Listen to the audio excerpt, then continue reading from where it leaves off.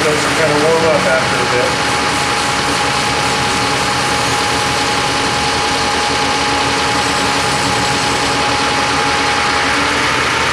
Okay, now I don't want to have any of those grind marks in here either at the end. So I'm going to go ahead and take those off now.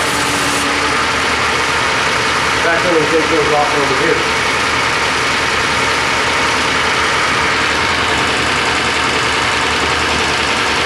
Let's hope this uh, this camera's failing.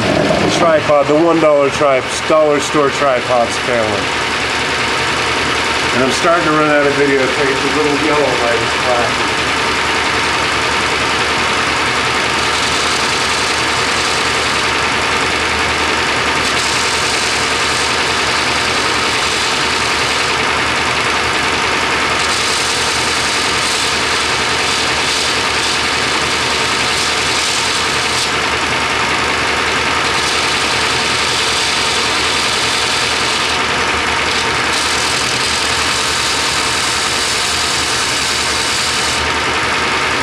Yeah, that's much nicer. That looks much nicer. See, it takes all those, all those nasty, see all those nasty grind marks up there? We're gonna take all those out too.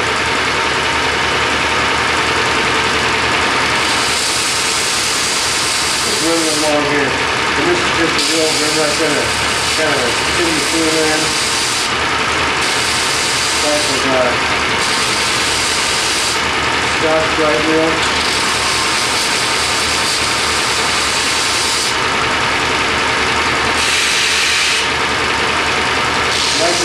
likely to get all those big ones off on the face. It goes like, it only goes going out.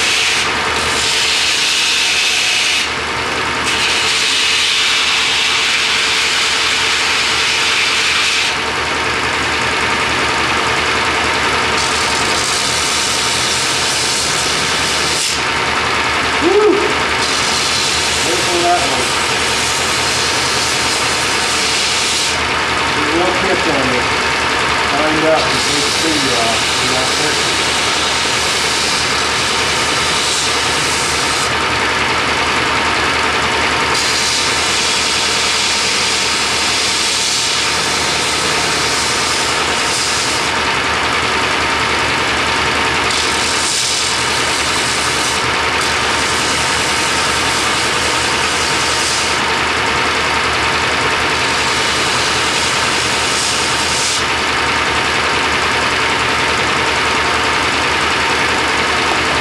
Gonna get a little warm in there.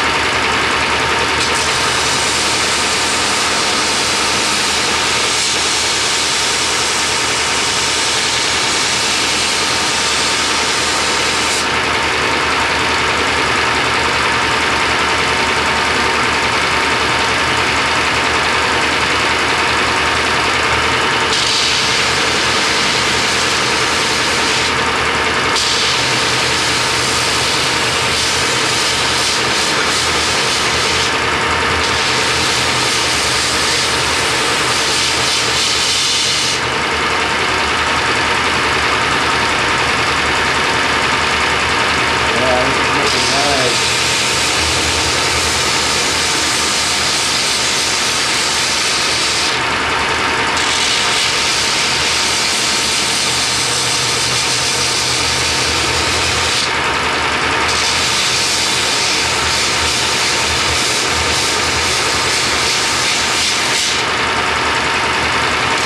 A little light up here, since it's always so dark and everybody's complaining about the fucking dark and you can't see. I have finished buffing this out now with the main the main buff, getting all those rough edges, those rough knots and shit out. Okay, and you can see it looks really nice. Now I've done this whole thing on the handle that I did it, that I made that piece of Damascus out of. It's actually worked out really nice. Uh, this is the first time I've ever done it this way, and I'm kind of digging it. So we're going to continue on. So what I've done is now I had that one uh, Scotch Brite uh, felt on here. So what I'm going to do now is I'm going to take another one. It's it's a finer Scotch Brite, so it'll give it even more of a, a higher polish before we take it over and have it heat treated. You want it to look as nice as possible before you take it and have all that stuff done to it. All right, so I'm gonna get on with that and we'll come back because I only, remember I said I only, I ran out of tape. I ran out of tape somewhere when I was doing the last time. Not sure exactly where, um, but I'm sure I'll just piece it together or whatever. But anyways, uh, I'm recording over the stuff that I've already downloaded, hopefully, and I don't screw this whole thing up. And if I do, sorry, and I'll try and make it up to you. Just means I'd have to do another one right away. So, and this thing is just starting to look so sick, it's unreal. I don't know if you can see it, but I mean, just from the buffing, let's see if we can get some on there. You can start to see those layers in there, right up and through here, maybe you can see them. But they just go all the way along, okay? And it's just gonna look so nice when it's done. But anyways, enough of that. We're still gonna have to take this thing over, have it a handle welded on, have it uh, hardened, tempered, and uh, then we're gonna scotch brite it again because it's gonna make it all nasty and shit again. But then uh, it'll be it'll be ready to go. We'll scotch brite it. We'll acid wash it to etch it, and then we'll start working on the handle. And this thing's gonna come out pretty. It's gonna be like a pirate knife or something. I don't know what it's gonna be. It's gonna be cool. Look at that thing. Arrgh! All right.